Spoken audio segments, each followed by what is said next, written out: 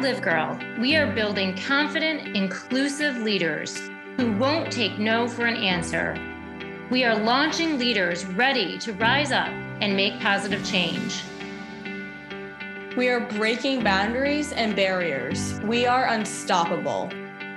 On this Day of the Girl, we listen to what girls see as the change they need, the solutions, big and small, they are leading and demanding across the globe.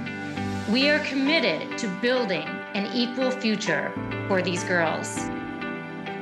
I have grown to understand the power of my voice, the importance of using my voice to uplift others, to amplify marginalized voices, to demand change. I was not put on this earth to be invisible. I was not born to be denied. I was not given life only to belong to someone else. I belong to me, I have a voice, and I will use it.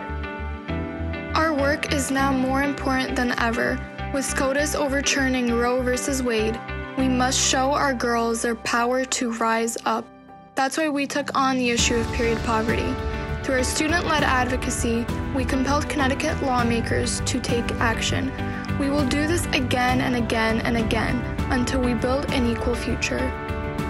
We've been there for our girls through our many free leadership development and mentoring programs, putting mental health, resilience, and compassion front and center in everything we do. We must continue to equip girls with the skills, mentors, and access they need to thrive.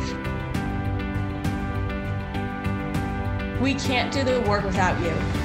We hope you will support us as we continue to lead forward and extend our reach and impact. Together, we can build an equal future.